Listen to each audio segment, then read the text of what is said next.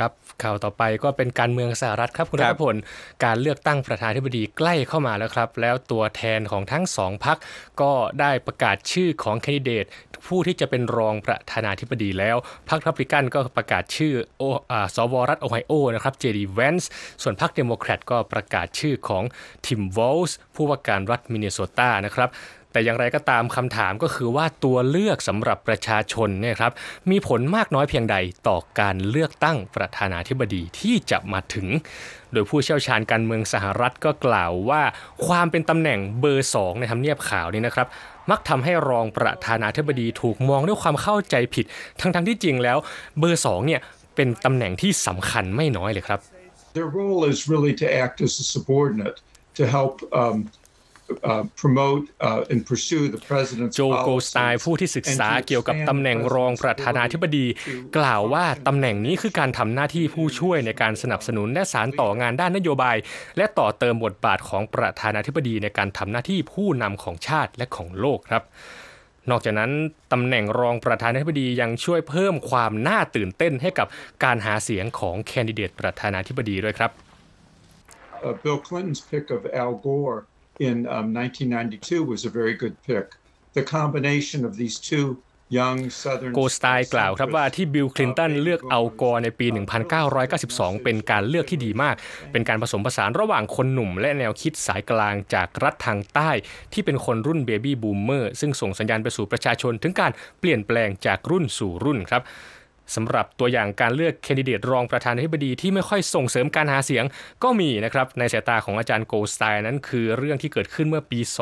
2008 ที่พรรครีพับลิกันได้ซาร่าเพลินผู้ว่าการรัฐอลาสกามาลงคู่กับสว.จอห์นแมคเคนจากรัฐแอริโซนาครับโดยโกสไตน์บอกว่าเพลินถูกล้อเลียนเป็นตัวตลก และไม่ส่งผลดีต่อการหาเสียงของแมคเคนแม้ว่าจะไม่ใช่สาเหตุที่สว.ผู้นี้แพ้การเลือกตั้งในคราวนั้น สำหรับการเลือกตั้งประธานาธิบดีปีนี้พรรครีพับลิกันอาจจะสร้างผลดีจากการได้สว.แวนส์มาลงคู่กับอดีตประธานาธิบดีทรัมป์ตามความเห็นของปีเตอร์ลอชผู้อำนวยการคณะการสื่อสารและกิจการสาธารณะ แห่งมหาวิทยาลัยจอร์จวอชิงตันครับ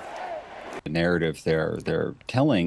that is, you know, there used to be an America in which if you worked hard and played by the rules, ลอดกล่าวว่าเรื่องราวที่พวกเขาถ่ายทอดออกมาคือมันเคยมีความเป็นอเมริกัน ที่ถ้าคุณทำงานหนักและทำตามกฎ ครอบครัวชนชั้นกลาง อย่างคุณจะประสบความสำเร็จ ตอนนี้ความเป็นอเมริกันในแบบนั้นไม่มีอีกแล้ว แต่ถ้าเกิดเลือกพวกเขา มันจะกลับมาอีกครั้งครับสำหรับฝั่งเดโมแครตที่ได้ผู้ว่าการรัฐมินนิโซตาทิมวอลส์มาลงคู่กับรองประธานาธิบดีแฮร์ริสอาจารย์เอลิซาเบธเคลแมน นักสังคมวิทยาการเมืองแห่งมหาวิทยาลัยชิคาโก กล่าวว่าวอลส์มาพร้อมกับเรื่องราวของการเน้นย้ำเรื่องปากท้องของครอบครัวที่ถูกสะท้อนออกมาจากคำว่า pro family economics ครับ a version of being pro-family that is not about the control of reproduction. Clemens กล่าวว่า pro family economics ในที่นี้ไม่ใช่เรื่องสนับสนุนให้ควบคุมสิทธิการเจริญพันธุ์ของสตรี แต่เป็นเรื่องการสนับสนุนทางเศรษฐกิจต่อครอบครัว ทั้งเรื่องการศึกษา การดูแลสุขภาพ การมีที่อยู่อาศัย และความก้าวหน้าด้านการงานครับ ครับ ก็คนที่ติดตามการเมืองอเมริกันนะครับ มีข่าวความคืบหน้านะฮะ ใครอยากดูดีเบต ระหว่างแฮร์ริสกับทรัมป์นะครับกำหนดวันเรียบร้อยแล้วนะครับ และทั้งคู่นั้นก็โอเค say yes นะครับ โดยช่อง NBC ยืนยันนะครับว่า